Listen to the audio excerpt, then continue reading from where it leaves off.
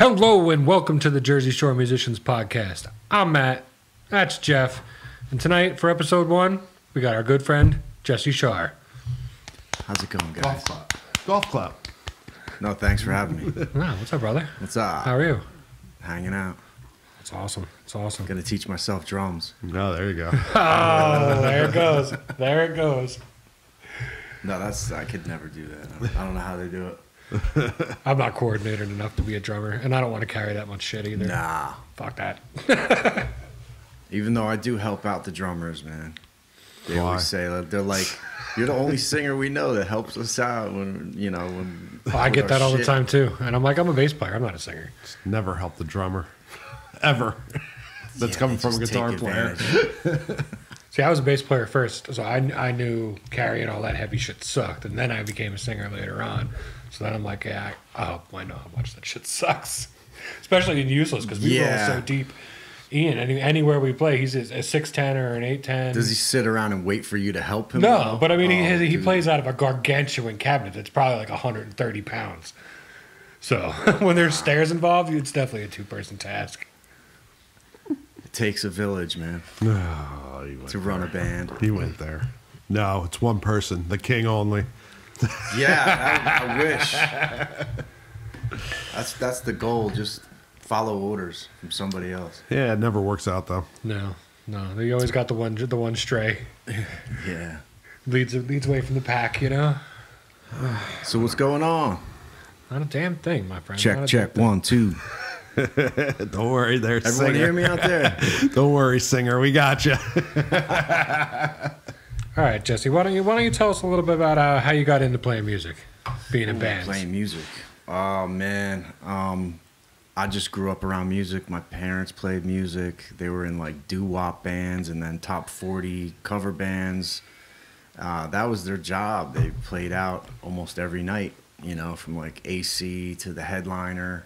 Oh, that's awesome. Uh, back in the 80s when it was good. when it was cool to it be was in a band. like yeah when i mean the, the clubs were packed back then and Oh, it yeah. wasn't all about like getting busted drinking and driving they could go out and actually drive and not get busted and stuff like that Yeah, and uh yeah they used to give out like the first 250 people through the door would get a shirt Oh, it was wow. bananas back then. But they would bring us to gigs or bring us to the studio, and my brother and I would just like hang out and you know watch. And we all we took guitar lessons, bass lessons, and uh, my brother had a drum set. You know, so we just grew up around music, and it becomes ingrained in you.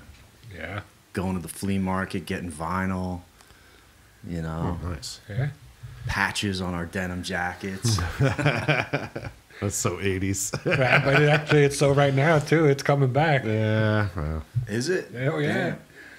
Oh yeah, I saw a bunch of bunch of bands nowadays They're starting with like the cut off jean jackets with the patches all over them, and it's like the That's '80s just all over more again. merch to buy. There you go. Yeah, that's what you should do. Somebody should make uh, cut off jean jackets with patches on them. Sell them at their That's shows. it. Sonic Honey, There you go. back patch. The back patch. Here, put this band, put this band on your on your vest. You've never heard of them, but they're great.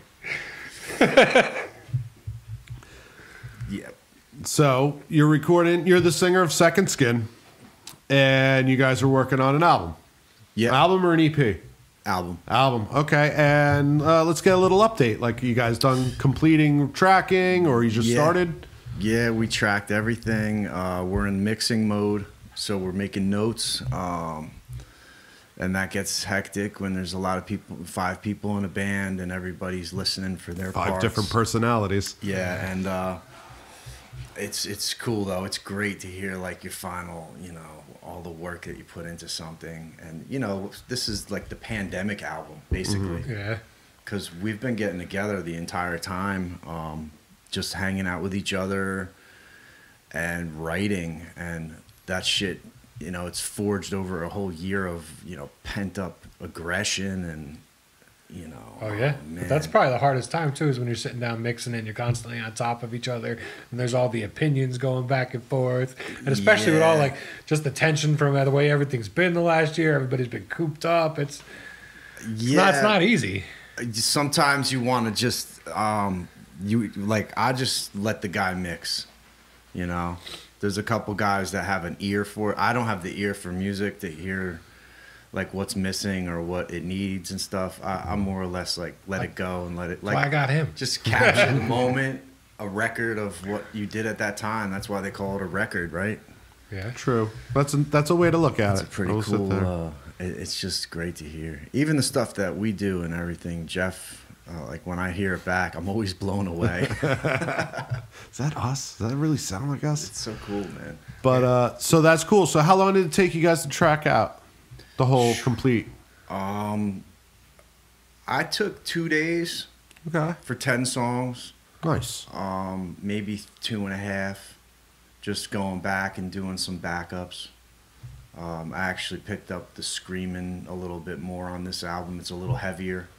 Nice. Um, so uh, there was like ad libs I had to jump in with, and then what we do is we call them candy parts. The guitars come in like last and do candy parts on top of everything, Oh, and okay. uh, you know it's just amazing, man. The guy that we're working with, Mike Orlando from Stomp, Sonic Stomp, okay. out of He's a- Staten Island. He's a great engineer. So Yeah, Adrenaline Mob, and Mm-hmm. like he's in like five bands, dude. That guy Yeah, is. guys like they, the, the his life is music. That's all, all. All of those guys are like multiple bands. They're all over the place. Yeah. They sit in for this guy, write stuff for that guy. Yeah.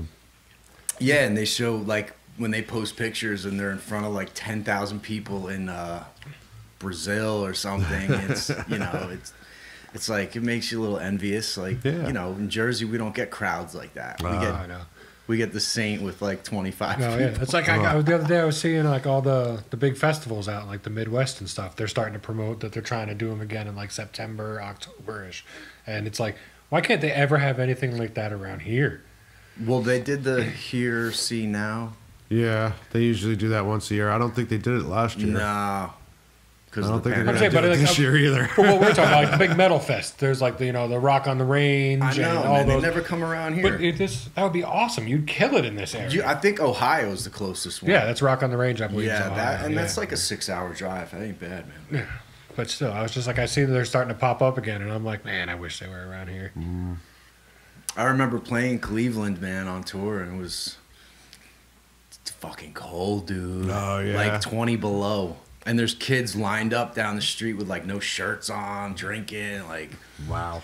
I don't know what I went to Cleveland once. We went to the Rock and Roll Hall of Fame. we passed it. We were gonna go in. I was so let down, We dude. We so drove all the way drunk, out there. I get to the Rock and Roll Hall of Fame, and you know what the main exhibit is that month? Fucking Bruce Springsteen. Oh, oh no! And the, like the biggest piece they had was like this sign from the Stone Pony. And I'm looking at the guy that works there. He's like, "What?" I'm like, "I could have drove a half hour from my house and seen that." That's great. and if you bring your album, you get in free. Oh yeah. I don't know if it's still like that, but we were we were ready to go. We were like, oh, we got an album, we can go in, but we were just like, dude, it's so cold, and these beers are going down so nice Yeah. on the bus. You know, I've heard mixed stories about the Hall of Fame. It's sometimes it's good and sometimes it's just garbage. Really? Like not worth going, you know, like Really, sometimes really? there's nothing there. I don't know. I mean, we got the Hard Rock now. We can just go there and see some cool shit. As I say, when I went there, it was like I was looking around. The only they have one poster, and that's the only thing they had up for Chuck Berry when I was there. Oh wow. was like, how is that the only freaking thing you have in here for the guy that you know, almost he's like the father of rock and roll? Yeah. Wow. And it's just this one little poster on the wall, but they got a whole room for Kurt Cobain. I'm like, you sons of bitches. Yeah, well, he was a big influence too. How about Elvis? Elvis has his own room. Yeah. yeah. I he's saw Elvis's car in uh, somewhere in Hollywood, man. That was one of his cars was just fucking sick, dude. Oh, it was wow. like a drop top Eldorado with the yeah. phone, and this was like the '60s, dude. That's awesome. How the fuck did they have phones and cars back then? So you played in Cleveland. Um, what you know? What are some good tour experiences? Maybe what was the worst tour experience? The worst. Yeah, what's the worst? Let's start that. It's always good to go with the bad first. Um, it's always bad when like the headliner don't show up. You know what I mean? so, I mean, the worst is when probably we were supposed to play with Saliva somewhere in Texas, and they pulled up, and we were all like stoked. We were like, cool, they showed up, you know, because they were they, it was already late, and uh, then they just pulled away, and we were like, all right, maybe they're like going to get beers or something, you know That's what I mean? awesome. And uh, it turned out that they said the stage was too small or too big for them. One of the, I would think, too small. But it, knows? this was like a huge stage. This was fucking, it was awesome, dude. Wow. And uh, yeah, that sucked, man. Because they had to announce that they weren't showing up, so the crowd like pretty much leaves. Yeah. You know, half of the crowd left, and uh, you're stuck playing anyway. That's crazy. So it's like playing here. You play to like 20 people and you go about your business. Yeah, and the cool thing was that it was a really nice stage though. It was like, you know, I think Indian hooked us up on it, and uh, you know, you we were like ten feet off the ground. You know, nothing like Jersey. Yeah.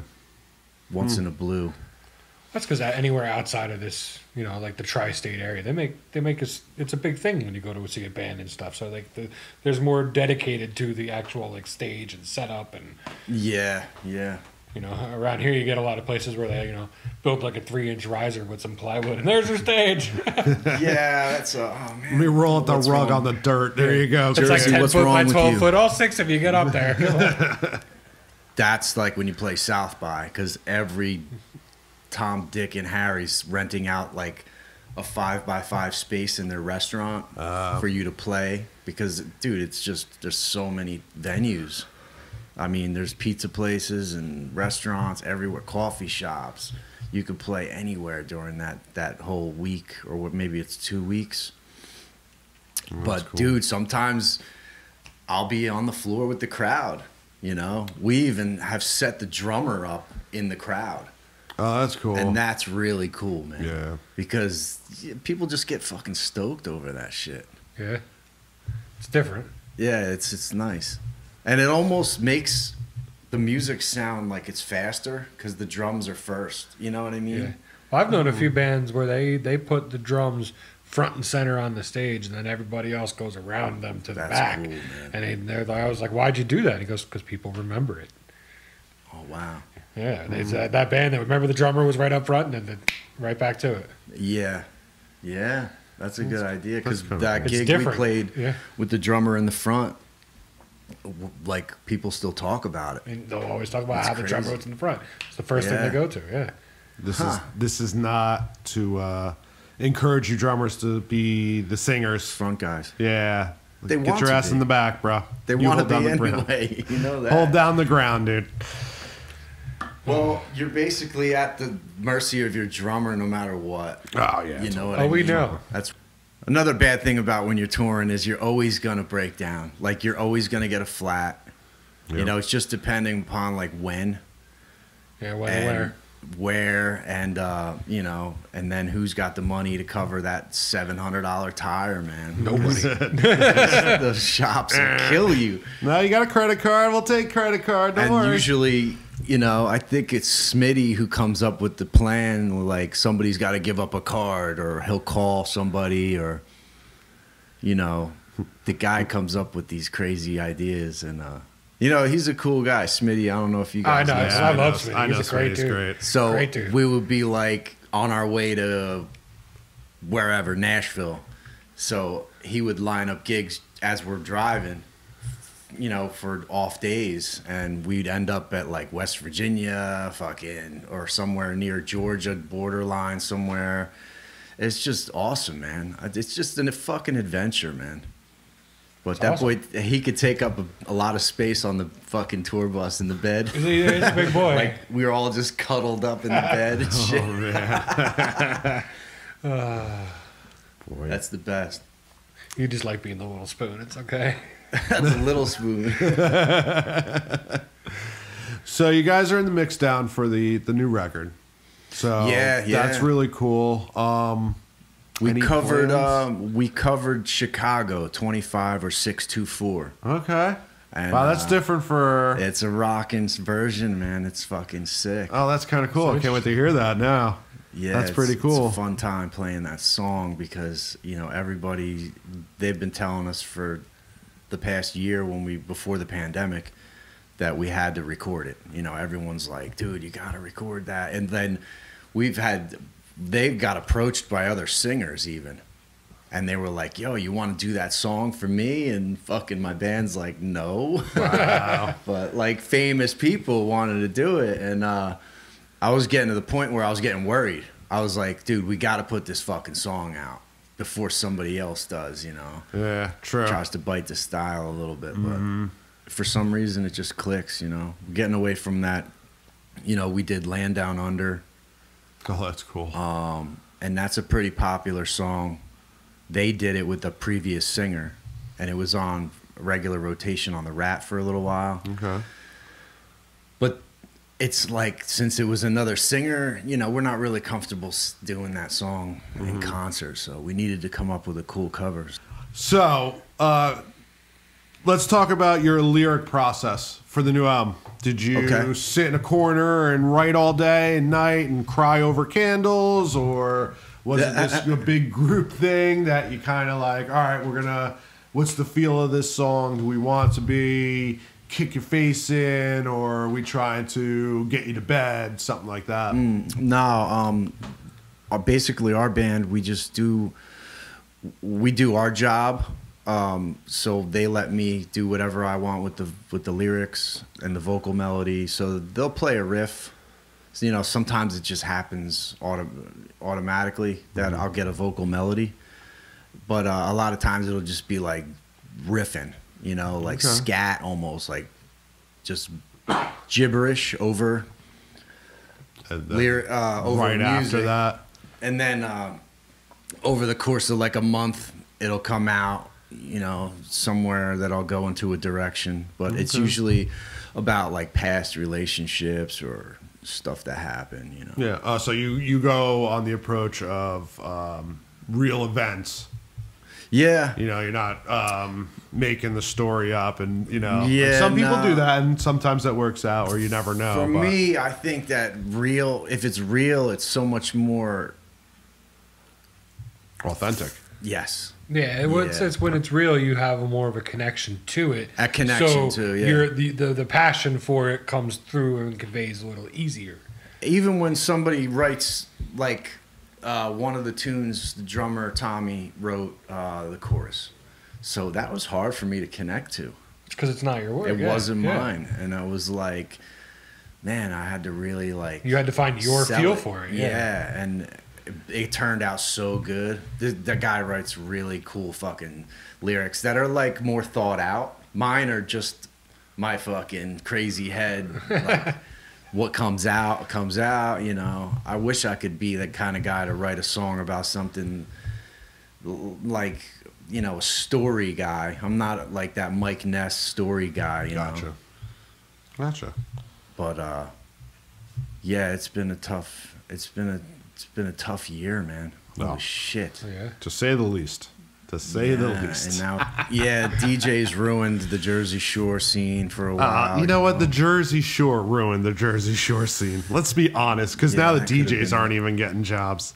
They're Yeah. SOL just as much as bands. yeah, the pandemic really fucked everything. I even up. think before the like. Yeah, it, I was, it was definitely tapering off before that. Yeah, That's- you can hit COVID just kind of Spotify. sped things up a little bit. Yeah. Pand- I've, I've known bars to just put on Pandora. Pay what was it? That's What is it, true, like man. Ten dollars a month. That's way. Yeah. Like, you could do like that six years before you pay one band. that's awesome. You know, so it's like no, it's And not then- awesome. the best is those internet fucking jukeboxes. Yes, where you that's can play another like one. Slayer and shit, Yep. and suicidal. People, and- uh, they eat that shit up. but that's I'm bad. I like dive bars. I love dive bar. man, man. who doesn't They're like a good dive bar? Fucking Tom's Tavern in Farmingdale, or like, I've never been there. oh my god, dude, it's great. They have, they do have music though. you Oh, know, okay. But they do the trio or the or the duo thing, and uh, you know, and that's what everybody's doing now. Oh, yeah, They're it's everywhere. saving saving some bread. They're Easily. get a Yeah. little bit of More more money to go around between the people in the band because you're not getting as much. Yeah, Like, the let the one less cut is it helps. yeah. One less. It's a little more than that. So, Jesse, talk about because you do some solo stuff. You're actually a little bit of a gun for hire. Yeah, You know, Yeah, let's I, hear a little of um, that. try to make money doing you know music however I can uh, with my voice. If I see somebody needs vocals on a country tune or like a rock tune, I'll I'll respond and see if they want to, uh, you know, if they want to hire me Uh-huh. and um, and work with them. Usually, you meet uh, you meet the people, and if you you build a repertoire, if you if if you click right away and I can show them what I do, I've had like a few people just wanting me to sing on the spot, you know, and that's always tough, man. Oh yeah. It's like a fucking. It's like if you're a com, if you're a comedian, someone says like say something funny, you know. Yeah, tell me a joke. Yeah, come on, sing, sing something. Fuck you. You know, it- it's yeah, it's it gets annoying, but if they want to pay, you know, some money, you try to work with people. You know, if you're doing what you like to do, man, it's always great. You get to work with so many cool engineers, and you know, it's Yeah, meet meet a ton of different people from you know avenues that you normally wouldn't cross. Right. You know, before, I would say, before the pandemic and probably five years ago previous, I used to go on Craigslist. And it was pretty decent to find musicians, but I, That's how you found us. I think, yeah. Pop, right? But yeah, solo stuff. Um, I just always write shit, man. I always have a notebook, or like now I got the iPhone, so it's like Yeah. you just constantly make voice memos. I probably have a thousand voice memos in my phone of of material. You know, the waiting to get you know Oh, you see me? I, I, I practice this. and I'm always recording stuff. Yeah, Always, just so you can really listen back. You might be like, "Oh, I forgot I even played that." You it's know? like what did we do before phones, man?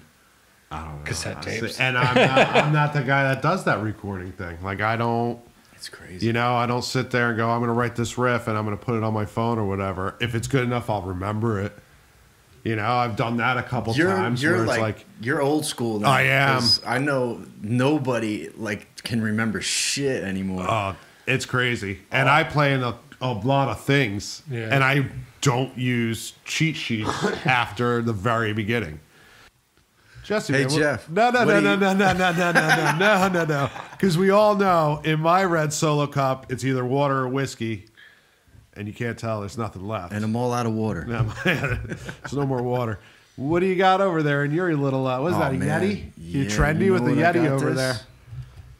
I got this for Christmas from my girl because she likes picking out fruity colors for me. Oh, that's cool. But uh, I actually have like dessert kind of coffee going on. I usually drink coffee black, but uh, Okay. I had a I had a big dinner and I was like, you know what? I want to put French vanilla in here. So I don't know if you're into the creamers, but No. French vanilla I like creamer. my coffee to taste like coffee. Yeah, I got. This thing is sweet. It's, it's like ice cream, man. No, it's all good. I, I I know a bunch of my buddies drink all that crazy shit, and I'm just like, nah, I like coffee, just a pinch of sugar, a little bit of half and half. I don't do any Good. anything usually, just black. Okay. Like, like Henry Rollins, man. Ah, You there ever we see go. him live? No. He had a thermos with steaming coffee through his whole fucking sh- set, man. And just That's awesome. One of the best things I ever saw, I saw a Type O at the Stone Pony, and I wa- Peter Steele literally drank four bottles of wine in one set. Just Oh, from, picked up the bottle, was just like blah, blah, blah, blah, blah, blah. Let's talk about um, where people can find you, your email, YouTube. okay. all that Yeah, stuff. Um, Action. we're on uh, we're on Facebook. It's Sekond Skyn. It's S E K O N D S K Y N uh, dot com. People could reach out whenever they want. I mean, right now it's not really that active. People aren't really concerned with bands right now, but we have material coming out. You know, and that's another thing. I don't. We don't know how to release it right now. No, it's there's no way to there's It's- no good there's way no to way. go about it. Yeah. We're thinking of maybe keeping all the material, releasing like a double single, like release it a single at a time, or Trying maybe to generate interest so that by the time it's ready to play or you're ready to play out, yeah, you can sell the CD. I mean, yeah, there's there's a couple different ways to go about that. Yeah. You know, it's Sell hard. CD. What decade are you in? Well, you gotta try. I mean, I used Sell to sell out. I'd sell out all the CDs we had. just walk around the crowd after a show, Yeah. man, and A CD, I'm saying, dude, right now, CDs are a thing of the past, man. Absolutely. But I just, you know, tell you tell people that you need gas money for the next show or whatever, Yeah. and they usually buy one. It's Like, oh, this is a cool little coaster. I'll take this. and usually they throw them right out the you would car hope they window on the download way it home. At least I would download it into my computer and then throw it the fuck out. But like cars don't even come with CD players anymore. That's why I bought my truck. I'm like, where's the CD player? He's like, it, it doesn't have one. I'm like, what? Oh shit! yeah. And that's a that's an expensive truck. Yeah. It's, Wow. it's not standard anymore. Everything's MP3 or, you know, hook up to your phone.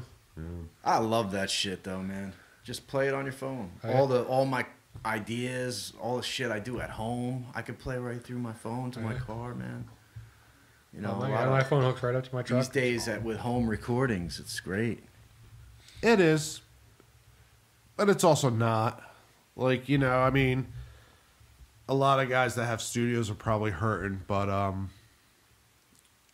uh, you know, I hear things that were recorded on a laptop. And you can kind of tell. Oh, absolutely. You know what I mean? It's like you, you still need that precision. You still need that the way to grab the microphone grabs the signal, and that's something you don't just get. You you taught like there's a Yeah. science behind Yeah. it. You know, and I know it's like I know because uh, just from doing it myself, like sometimes I strike gold, man, and then other times I'm completely off.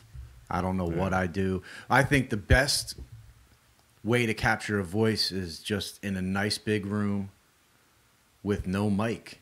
So your microphone, you you want it to sound like a natural voice, mm. pretty much. yeah, yeah. that's how I kind of always picture it in my mind. But I don't know how to engineer. It's so much easier when someone's pushing the buttons for you. Yeah, right. I'll just walk up and make the noises. Ah, ah. Ooh, yeah. What are you, the Macho Man now? Oh boy. Now, do you guys have like a YouTube channel or like is there any Um, videos that you guys have sure. up that are Yeah. W- w- if you Google Sekond Skyn, S C K O N D S K Y N, it's just weird spelling, but we got an illegal. Uh, what's that called when somebody makes you like trademark? release the using the it, the, the if you spelled it the normal way Oh, it would be a cease There's and like- assist. cease and desist yeah. there's another band in That's london awesome. they're like so goth dude they're like the cure on fucking acid bro and they sued us for the name so Wow. yeah Man, I It didn't know you could do that. Yeah like because a- i thought it was state by state you know I guess not. Trademark is yeah you know all around. Huh. Yeah, oh, Wow, that's weird. Like weird. I, at one point, I mean, don't quote me on this shit. but uh, Totally talking out my ass. but if you could, if you go online, we have tons of shit, and then we do like, we got together with a bunch of guys and did uh, acoustic songs Okay. as El Capo, and that was Okay. that was so fucking cool, man. what kind of songs did you guys do? We did like. 90s covers okay. and some Zeppelin and some uh, nice. some Skynyrd and Neil Young and stuff, and uh, that was so cool just to like strip down the music to play at a lower level, Oh, it's different. volume wise. It It's a little more intimate. Yeah, Yeah. I could see that. Oh, that's super cool though. We'll have to have you guys come down, do some uh, songs for us, talk about it. yeah, that would be great. Yeah. man. I love doing that shit. Even low volume practices are something that people like neglect. You know, you get a Yeah, I know. drummer who will set up like a pad set or something and just is willing to jam out and and go through the set at a low volume man you see what you could really you could really learn a lot from that kind of a You practice should come to a useless practice. I have my PA to the point where it's about to blow a fuck up. Yeah. And I can't even hear myself over everybody else. that's how i am at Sekond Skyn It's bad. that's why when we finished the album those guys were like whoa this is fucking awesome you know we we never hear what you sing you know we're like, they got fucking marshall stacks and Oh ampeg stacks and Wow. full, you know People still do that. They use still they still use like four twelve half stacks. Yeah. I mean, I could see that for a gig. So our practice room You know. may be the size of this room we're in right now, and each guitar player plays a 412 and a 115. Ian plays an 810 along with a full drum set Mm-hmm. in a room this small. Yeah. Yeah, That's what we do. it's crazy, dude. Like my And it's ears loud. hurt. That's And I- I'd loud, start wearing man. earplugs because I just my ears would hurt by the end of practice. Yeah, and it's not good. Oh no. You're like, nah, It's not good for your ears. They, I, we played a gig at the Saint, and they had a new guy on monitors. He, he, this, he killed my right ear. I think that night. It was like it has never been the same. so, thanks to Saint. Yeah, way to go, guys. But I love that place. Those guys are cool. We're thinking about playing a gig there. Um, Well, they're, doing, like a live stream or something. live right? stream. They got a guy that streams you, Mm-hmm.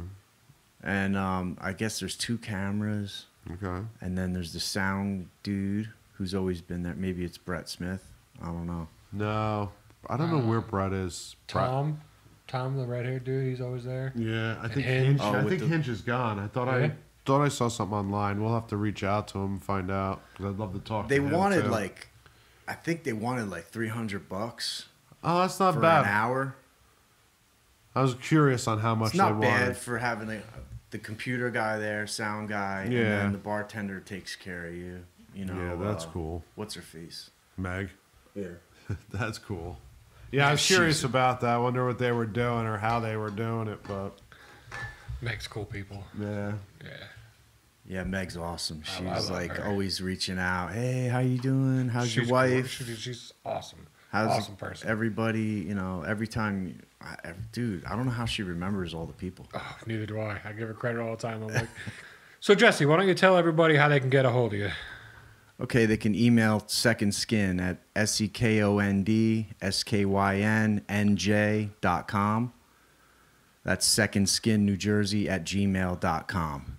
And as usual, you can get a hold of us at jsmpinfo at gmail.com. That's jsmpinfo at gmail.com. And Jeff will get right back to you. I'll try. I never do. It's always going to be Matt. Yeah, it's, it's always me. Yeah, it's always I- me. It's a team thing, and this is his part. So sorry. yeah, what a team, huh? I still love you though. And now, a word from our sponsors. The power of Sticker Jesus compels you. Full color, waterproof, and UV resistant decals printed for your art, your business, your club, or anything you want to promote. DM his ass holiness here or email me to start your order. Remember, Stuck Up is your source for signs, stickers, banners, and way more. And if you mention the Jersey Shore Musicians podcast, you will get 10% off your first order. How about that? Wow, that's really nice of him to do that. See that? Wow, My guy you should go get some good stickers, He's man. Good guy. Yeah. All right, well, uh, for Jesse, thanks for coming in, bud. We really appreciate it. Thank you so much for having me. Ah, it's been a blast. I hope you had a good time. so time. much fun. Always. And uh, Rock and roll. that's it for us, huh? Yeah, we're done, dude. This guy's had too much whiskey already. Uh, no, not enough yet. Time to call it a night. All right, we'll see you guys next Monday.